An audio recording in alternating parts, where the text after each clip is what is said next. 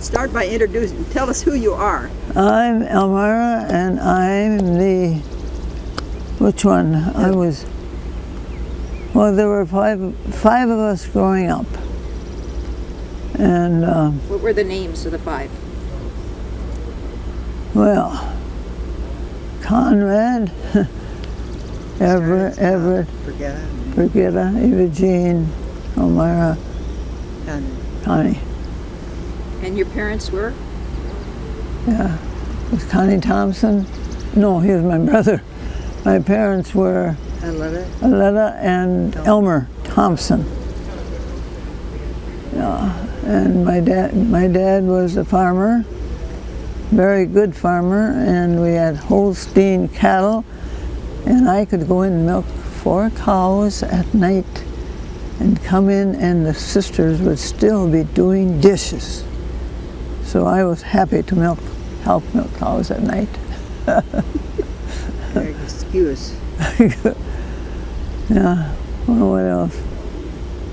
Uh, we were in church every Sunday, unless a big storm came up. Uh, in Sunday school from little and on, and uh, very thankful for that. My dad sang in the choir for a while. He stammered, stuttered, and I inherited stammering. If you don't think that was embarrassing in school, you'd hold your breath and suddenly the word would come out. But I finally got over it. As you can see, I talk too much now. That's true. Yeah, that's true, she says. Oh, what else can I say? I love being on the farm because uh, it was, we lived right near the Manitowoc River, and we'd even go down there, and the muddy is real muddy, and the shoreline. We'd walk through the mud, and then towards the middle it would be nice and clear. so I think we had a good uh, life on the farm. My mother was a wonderful cook.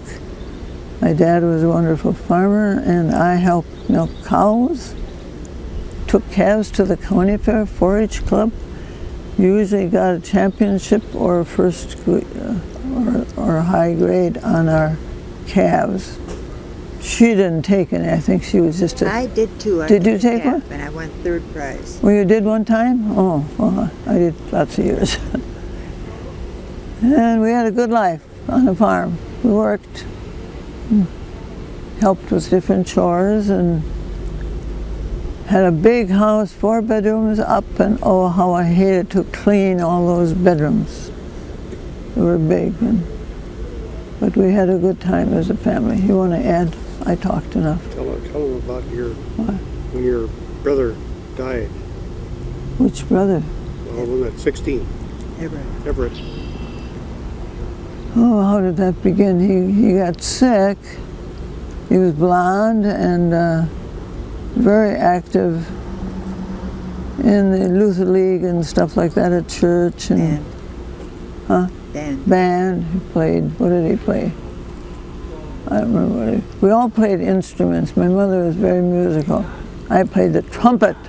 What'd you play? Violin. Violin. I wanted to mention something about go- Everett dying. Go ahead and just inject it. Yeah. You can talk. Yeah, go ahead. I'll be able to hear it. Go ahead. S- uh, be, became sick, but he didn't tell anybody about it, and he would lie up in his bedroom and just in pain himself, and he was too embarrassed to say about him. And finally, one day, I one of us went through the hall and saw him just crouching like this, and I told my mom about it, and she told my dad, and he said, "Well, let's call the doctor." And so the doctor came out and he rushed him to the hospital. And he had an appendix attack. And he was in agony. Well, the doctor, I don't know, he, I guess he had a wedding or something to go to. So he left him without any intern or anybody there to look after him. And uh, uh, our pastor came and he knelt at his, his bed all night until the next day when he did he died. And uh, my father was so upset about the fact that there was no doctor there. that he, I don't think he ever paid the bill. Was this a ruptured appendix? Yeah, but peritonitis set in. Uh, Yeah. So that's that's. a sad Infection story. set yeah. And he was he was really the, the middle of our, our activity because he did all these building things and he he was always the one to start things and he was such a and he looked like me. Oh, yeah? Hey. Very blonde, wavy hair. And he was they, they put the people in the living room at that time, you know, to view and uh, That was terrible. In the, in the living room, and people came, forms of people, and go and stare at him and. And we were so young. And then my dad uh, was quite a, not a rigid man, but he was, he was a strict man, but you didn't ever see him uh, too jolly, I guess. He was jolly, but anyway, one, one day we were walking up the stairs and we saw dad on the front steps and he was weeping. Hold on. I'm just going to bring this right here. Go ahead. He was weeping and we never saw him. You, you you went up. To start over. You went. You went up the step. And we went around, the, just happened to go through the hall, and he was sitting in the on the front steps of the house, and he was crying, and he was crying. He was talking to the Lord, and he said, "Why did you have to take my son when all these, I can't hardly say it, when all these drunks around here are no good and they don't hmm. do anything for anybody, and here you have to take my beloved son." That was it. And W- we were never you saw by him- yourself, or What? when when you heard this? Were you by yourself, or were Yeah, you I with your mom, myself. or you weren't? You didn't? I don't No, no, I was alone. I just happened to go upstairs and and heard this talking out there, and I stood by the screen door, and that was it. He was ta- talking to God. Just, and we had a we had our Bible time at night, and had he usually read the stories, and he was just a, a great dad. do you think that changed your dad? I think so. I think he became more attentive, perhaps, to people around and us. And I. I was only nine years old, so I, You know, you often hear, he's just a dumb farmer. You hear that from people sometimes. Say that again. You, It's kind of an old expression, oh, he's just a dumb farmer. You know, they say about farmers, yeah. that maybe they're farming and they're dumb. There are no dumb farmers. If they're farmers, they have to be intelligent. Right. That would always get through to me if I heard that expression, he's just a dumb farmer. we had a beautiful farm, 20, 25 cows. I helped milk in the uh, evening, get my four cows milk before my two sisters were done with the dishes. So I could get in, get washed up, and enjoy the evening. And I married someone, a farmer, and forgot to say that I milked six cows in the morning and six cows at night. Oh, you did it in the morning? You sure? The cat woke me up. Oh. Well, anyway, What do you? What's your happiest moment that you remember growing up? Do you? Ooh. with my husband sitting here, I don't know. Oh, before you met him. before you met your husband, what was the happiest moment growing up on the farm? Boy. I suppose um, we kids, I don't know if you did, we took calves to the county fair, Manitowoc County Fair. And I got, I got a, a championship prize one year. Wee was I happy. You know, you had to show your calf and it had to stand just so with the four feet just so. And uh, And okay, so it was a calf you were showing. Yeah. I think first prize was eight dollars way back then. Did you take calves to the country? Sure I did. And I also was a Dairy Queen. I forgot to mention that. Oh yeah, she's a Dairy Queen. Talk. Dairy Queen. Yeah. But uh, just There were Holsteins. Oh, something's funny in there. we're missing a lot. Okay. You're telling about when you almost drowned in the river. I don't remember too much about that, I but did, I did the Manitowoc River ran through our farm, and it wasn't too far down to the river. And uh, we'd go down there swimming.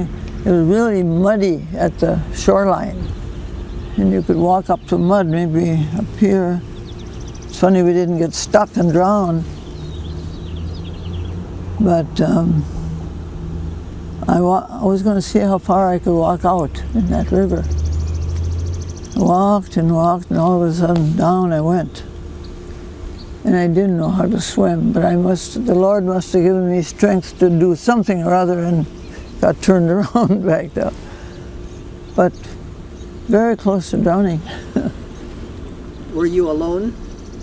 Well, I think one or two of my brothers were with me probably, but they were, you know, over yonder someplace and didn't know it. But I made it. Got back up. I was very weak, and, and then I yelled to them, and they helped me to the shore. So I had a close call. And you also were brave enough to go to Alaska with another girl driving Yeah, with all kinds of They drove it twice. twice. I drove twice. Twice. You went. Tell us about that. Well, uh, I was kind of adventurous, I guess, and I had a girlfriend who was tired of her job, and I was tired of my job. You worked. She worked for a, a soap company, wasn't it? Lever Brothers. Lever Lever Brothers. Lever- I worked I for did. Lever Brothers. My dad said that his son was a minister and kept the people, you know, straightened out. And uh, Brigitta was a social worker and made sure that everybody was okay. And Almira was worked for Lever Brothers and kept everybody clean. Oh, that was so good. All right. Wait a minute. We're going to have to get that one more time. Sorry. that was really fun. Just one second. Let me back up a little bit. Okay. Oh, So, uh, say that again. remember it. Brigitta was a social. Who, and who was a- saying this? Who was saying this? Was it your dad? Dad. Your dad would say My this. dad was saying that, uh, or Conrad was a, a preacher, so he was keeping people, uh, his their souls clean. And Brigitta was a social worker, and she was working with people who needed to be socialized. And Almira was working for Lever Brothers and kept kept them all clean. I don't think he included me. I guess I was a brat. I don't know. All right. So you went to Alaska. Yeah, a So tell us girlfriend, about a that. girlfriend and I decided that Yeah. might be fun, Mm-hmm. an adventure. And you were how old when you did that? Oh, I might have been 20, maybe 18, 18 The first time being saved, 1950. 1950. How old was I? Well, you've been about 32. 30, in my 30, early 30s maybe. We decided we wanted excitement, so we decided to go to Alaska. And I had, I bought a car. I believe it was a new one, right? Who would know? And uh, we got a map, and we mapped it out, and we, was it 4,000 miles? Is that about it? To where we went to Anchorage. I had one girlfriend, uh, one acquaintance up there, and I wrote her to tell her, and she wrote back and she said, "Don't be afraid of the highway. It's a few places are tough and so forth." We got stuck once or twice, but there was always a piece of machinery working on the highway, so we got pulled out. How many flat tires did you get? I had two, I think. but what you- all, always some man came along and changed, changed the tires. What? Uh, so what year are we talking here? Boy, I think it was 1950. 1950 about. 1950? The Alcan was not yet complete. It was open, but it was all it was all gravel. There was no hard surface. We got stuck a couple times in the mud, but there was always somebody to pull us out. And uh, What was what was the most remarkable thing you saw on this trip? the beauty of the mountains as we got closer up to Anchorage, and um, just the excitement of meeting all these wonderful people up there that treated us like queens. Lots of invites out, and uh, just a very sociable crowd up there. How long did you stay? Oh, I would imagine maybe 10 days. By that time, we'd gotten to know many of the church people. And she married this man. Now, wait now, you, I don't know what you're talking about, but you were there. Her first job was a, as a church parish, not a parish worker, but the secretary at the church in Fairbanks. Fairbanks. Oh, yeah, well, that's right. And So- I don't know how it worked out, but you. You'll have to correct me. Somehow or another, she was. You were at go to a Bible camp near Fairbanks somewhere, and then your mother gets sick, and you had to come back. Yeah, I had to go home because my mother was sick. And then she, I think you drove up a second time. You know, she driven twice. Oh.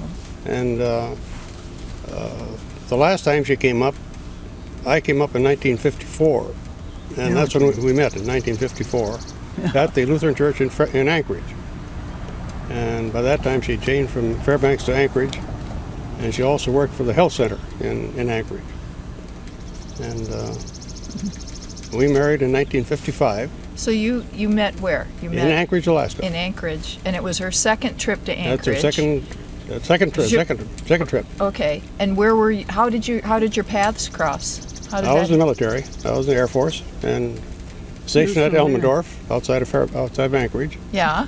And she was the host of the of the Lutheran USO at Central Lutheran Church in Anchorage. We met there. That was a fun job. Meeting all these servicemen. We met there through our through the. Hold on. Here, I'm going to redo this. Alice, you be me. Sit. Sti- just keep moving the microphone back, and I move the camera. Okay, so you you do the mic. Okay. Whoever's talking, but you have to get down lower because you see where the camera is. You have to get down where. I'm sorry to make you do that, but it Takes a little more for me to get down than you. okay. this is too good to miss. Okay. Okay, all Now, right. So Where were we?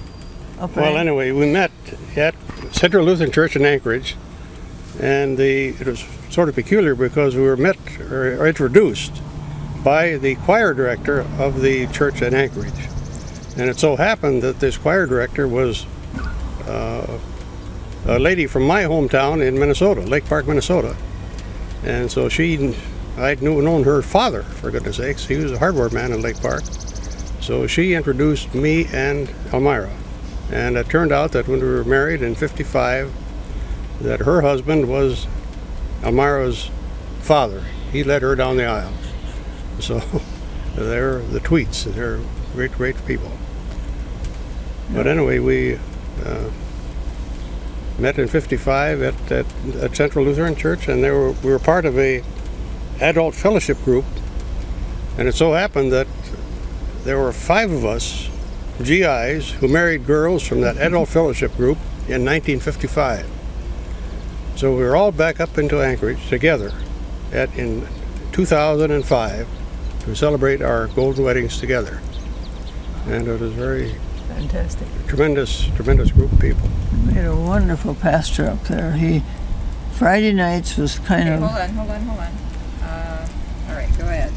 Wait, wait. Friday nights uh, at the church was serviceman nights, and I was the hostess, of course. And oh, they'd come in, and some would want to talk to me, and they'd tell me, oh, they'd be so lonesome. They were 18 years old, you know, and just joining the service. Oh, they were homesick, and others were happy, and I tried to do my best, but I had never had any training in dealing with men who were lonely. and I met him up there tonight. Yeah, and one night She did she a pretty was, good job. one night she was going to show pictures of my wedding that she missed in Chicago. You finish it. I don't know, but you tell the rest. Well, wait a minute, Mom. this goes back to Fairbanks when she was at, at the church in Fairbanks. She closed up one night and she had someone help her clean up after everybody left. And they threw the ashtrays in a wastebasket. And there was some hot ashes and it started a fire. And consequently, there was quite a serious damage the, to the basement of the church. And the wedding picture she just was talking about were burned up in All of my wedding that in that pictures. uh, Yeah. fire. So I don't know Almira's- you ever got any wedding Almira's wedding pictures. pictures. No, no, sure. Mine. I mean, No, Eva Jean's wedding one, Jean. one friend of mine had a little camera, and she had taken a couple pictures, but they were hardly visible, and that's the only one I have left. Really, I can remember that. But she sent me a bunch of, of uh, silverware or uh, steak knives of what is the name of the animal? Uh, Yeah, probably walrus tusk.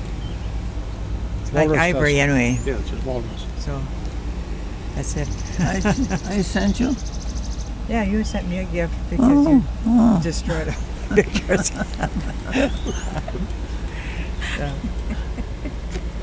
Oh, we've had quite a life here. Yeah. Farmer, Well, now, farmer's daughter. any, anything else that you want to share? It's about lunchtime. Too Well, much to share. she was a farmer's daughter. I'm a farmer. I still, we still have, still have a farm in Minnesota. But we don't. I was thinking about farming, but she didn't want to do that, so so we didn't. I was raised on a farm and I knew how much work it was. I still have not forgotten the farm, but uh, we live very can't. well. We can't either. Well, What's what's? Can I ask one more question? What what was the best part about growing up on a farm for you? Having a little sister. Having what? Having what? Having a little sister Oh, that really? that they tease to death. Yes. you better repeat the first part of that. I don't know if I got No, it. that's okay. That's all right. Oh, okay. go. So what's what's the best part for you of growing up on a farm? Well, I guess we were taught how to work because milking cows was a. Although we we we girls didn't have to get up or go out in the barn during the school year in the mornings, but I every night I worked. I I I would milk my four cows and could get in the house and she and my older sister would be still washing dishes before we had a dishwasher.